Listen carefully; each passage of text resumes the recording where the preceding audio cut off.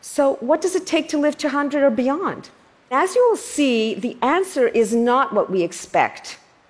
Julianne Holt Lunstad is a researcher at Brigham Young University, and she addressed this very question in a series of studies of tens of thousands of middle aged people. And she looked at every aspect of their lifestyle their diet, their exercise, their marital status, how often they went to the doctor, whether they smoked or drank, etc.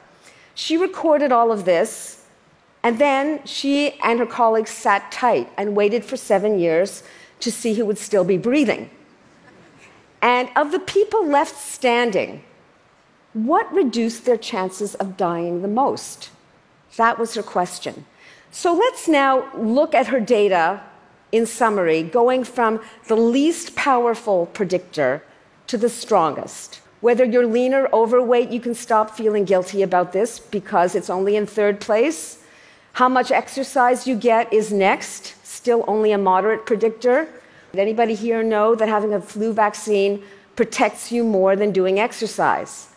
And getting towards the top predictors are two features of your social life. First, your close relationships.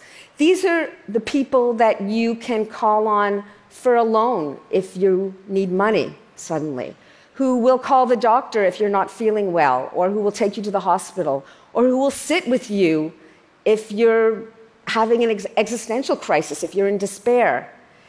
That, those people, that little clutch of people, are a strong predictor, if you have them, of how long you'll live.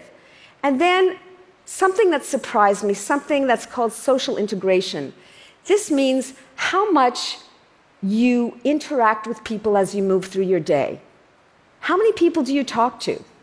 And these mean both your weak and your strong bonds. So, not just the people you're really close to who mean a lot to you, but like, do you talk to the guy who every day makes you your coffee?